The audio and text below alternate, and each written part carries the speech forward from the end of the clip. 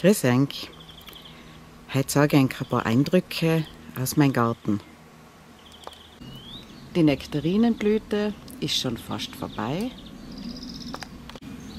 Die Riebiseln sind gerade voll in Blüte. Das Mackekraut wuchert schon ohne Ende. Der Rhabarber gibt auch sein Bestes und wird bald einmal zu einem guten Kuchen verarbeitet. Die ersten Erdbeeren blühen.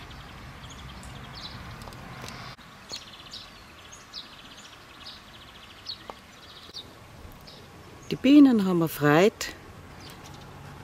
an meinen wilden Rasen.